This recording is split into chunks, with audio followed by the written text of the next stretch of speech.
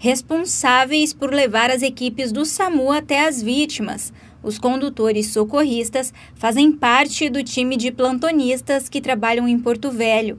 Mas, para ocupar esse cargo, eles também precisam passar por vários cursos. Para estar aqui no SAMU, além de ser o condutor socorrista, você tem que passar pelo curso de BLS, APH e urgência e emergência, né, que é para podendo estar auxiliando tanto o técnico de enfermagem, como o enfermeiro, como o médico.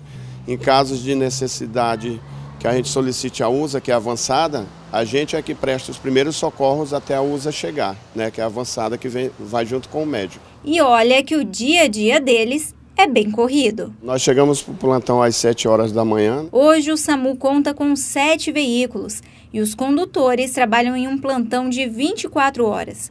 Nesse final de ano, eles receberam uma boa notícia foi aprovado na Câmara de Vereadores uma gratificação para a classe. A gratificação aprovada foi no valor de R$ 1.200. O SAMU de Porto Velho conta com 29 condutores socorristas que trabalham numa escala de 24 horas e muitas vezes precisam fazer plantão extra. É, a partir de janeiro né, já começa a entrar no nosso pagamento, no nosso ordinário. O importante é que a gente foi reconhecido, graças ao prefeito Hildon Chaves, os demais vereadores todos aprovaram, falaram sim, né?